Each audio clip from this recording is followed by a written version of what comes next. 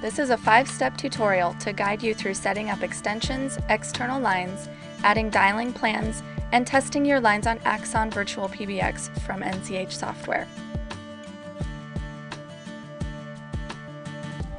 When you run Axon for the first time, the Setup Wizard will open. On the first page of the wizard, enter the number of extensions you'll be setting up. You can add or remove extensions later if needed. Also on this page, Enter your administrator username, password, and email so you can log into the web interface right away. When you click Next, Axon will run a network and web access wizard to check your network connections. It is important that when you're prompted, you allow ports to be opened. You might receive an error with further instructions on how to troubleshoot your networking problems. For problems with a NAT router, you'll most likely need to forward the following ports through your router and firewalls throughout your system.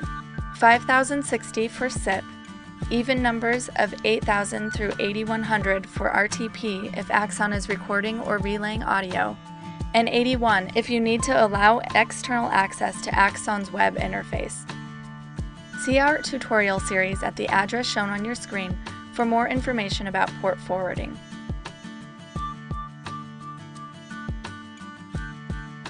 From the main web interface, click the external dialing link, then click the Add New External Line button. First, give the line a name. For simplicity, we recommend giving the line the same name as the phone number it is configured for. If you'll be using a VoIP service, you'll need to check the second radio button, Use Gateway Server.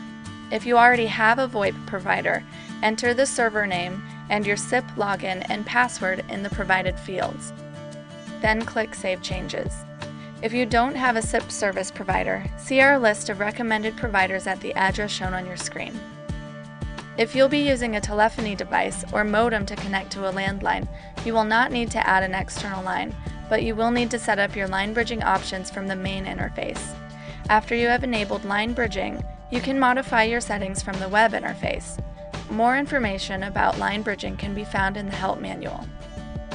Finally, you should select an extension or group the incoming call will ring on. The default external line is mapped to call group 701, which by default includes extensions 101, 102, and 103. If you want the call to ring at the receptionist desk, or have an automated attendant such as IVM pick up the call instead, select the extension number assigned to the appropriate party.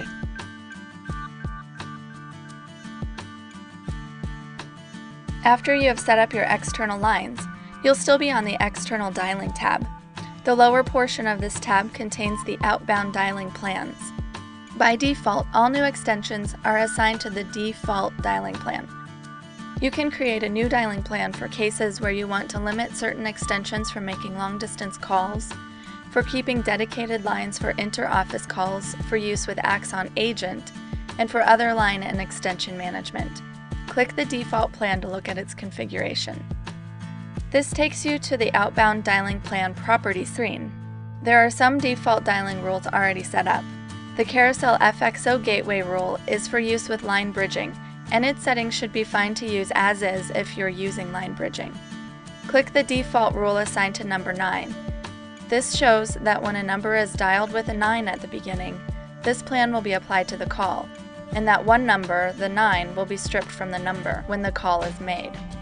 In the Dial On Line menu, select the external line that this plan will dial out on.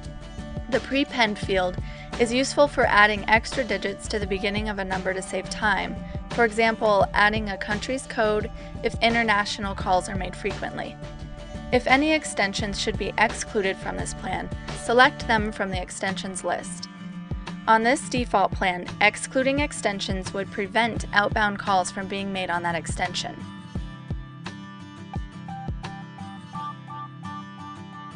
You're now ready to set up extension properties. To do this, click on the Extensions and Groups tab. At the top under User Extensions, you'll see a list of all user extensions you asked Axon to set up. To configure user extensions, click on an Extensions Edit button. You can configure options such as allowing an extension's user access to the Axon web interface, assigning an extension to an outbound dialing plan, setting up their voicemail or call forwarding properties, or call recording. For users setting up IVM as the external voicemail, note that if Axon is set up first, IVM's wizard will configure Axon's voicemail settings automatically. The setup details of an extension show the information you will need for setting up an IP phone, if needed. Back on the Extensions and Groups tab, the next section is Reserved Extensions. These extensions are reserved for lines that will handle voicemail, on-hold recordings, the call attendant, and more. Generally, the programs that use these extensions will configure themselves, so you won't need to view or change these except to check the status of one of these lines. When a status shows for any service, it means it has registered as online within the past hour. The last section on the Extensions and Groups tab is the Group Extensions section, where you can direct incoming calls to a group of extensions rather than just one. Group extensions can be useful in a customer service scenario where calls should be answered as quickly as possible, or in a sales scenario where salespeople take turn answering calls. Click the Add New Group or Queue button to set up a new group. You can designate an on-hold message that callers hear until their call is picked up, and specify how calls ring to the group, whether all at the same time, staggered from extension to extension, or on a round-robin cycle. Once you have completed the steps outlined here, you can begin testing your setup. Try making a call from one extension to another. Then try making an outbound call and an inbound call, making sure to test the quality of the audio over the line for each scenario.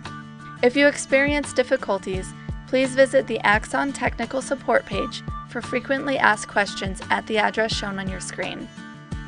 You can also view more telephony software and business software at these addresses.